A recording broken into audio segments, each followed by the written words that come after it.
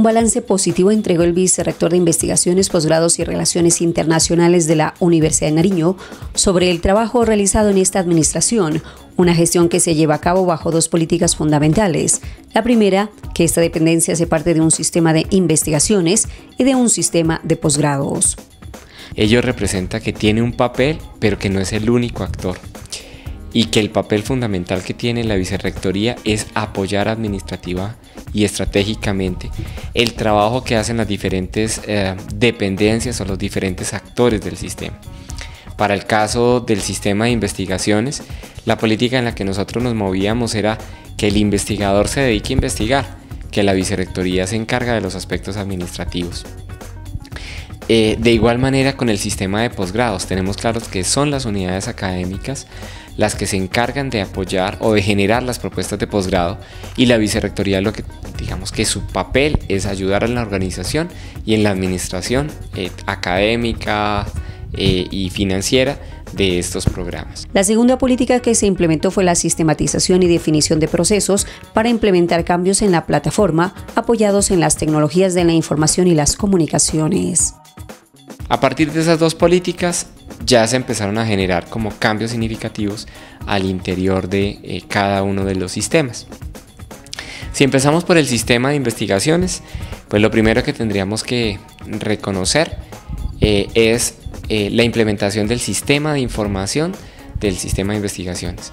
Ese sistema de información que permitió, permitió que cada investigador pueda tener su propia cuenta a través de las cuales pueda cargar a través de la red los respectivos proyectos de investigación eh, puedan tener un control de sus proyectos y además pueda tener información de, eh, del sistema de investigaciones lo que permitió que los aspirantes en las convocatorias docente y estudiantil presentaran sus proyectos a través del sistema.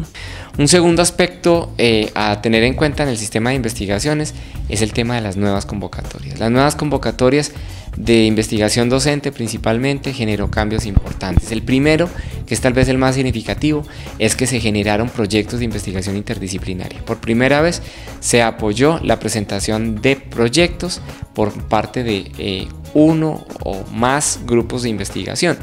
Al tener más grupos de investigación, ya tenemos proyectos que están siendo liderados por dos, tres y hasta cuatro grupos de investigación internos y externos a la universidad y eso obviamente fomenta la interdisciplinariedad.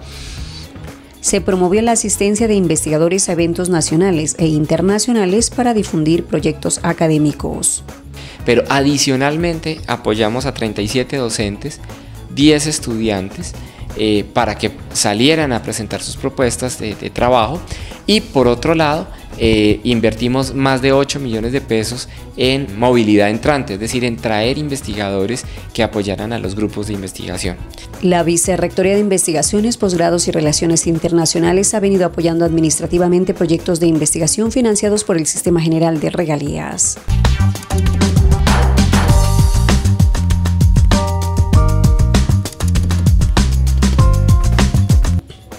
La propuesta para la gestión del talento humano dentro de la presente administración en cabeza del doctor Edmundo Calvache López se cumplió en gran medida. Dentro de esta área se llevó a cabo el proyecto de rediseño organizacional con avances significativos. El proyecto de rediseño organizacional eh, inició en el año 2012 como una alternativa posible para organizar la universidad de manera administrativa y académica en sus inicios contó con la dirección del doctor Carlos Arturo Ramírez, actualmente estoy en su coordinación y contamos con un equipo de profesionales idóneos con quienes se han realizado una serie de actividades tendientes a dar cumplimiento a estos objetivos. El proyecto de rediseño organizacional se aplicó en diferentes fases. Se inició con el levantamiento de información en los puestos de trabajo, luego se elaboró una base de datos que permitió estructurar las propuestas que se tienen contempladas en la administración del talento humano. Dentro de ese proyecto se realizaron actividades como la formulación de propuestas para un plan institucional de capacitación, un plan para el mejoramiento de la administración del talento humano, un plan para el mejoramiento del clima organizacional y un instrumento muy valioso que es el del modelo propio de evaluación del desempeño con el cual la administración tendrá una herramienta para medir la calidad en la prestación del servicio de sus funcionarios y tomar las decisiones en materia de talento humano en el, en el futuro. El equipo de diseño organizacional estableció una propuesta planta nivelatoria para cargos de transición donde se indica el proceso para desarrollar la escala salarial teniendo en cuenta la planta aprobada. Se presenta una clasificación por niveles, grados y cargos y el estudio del posible impacto financiero.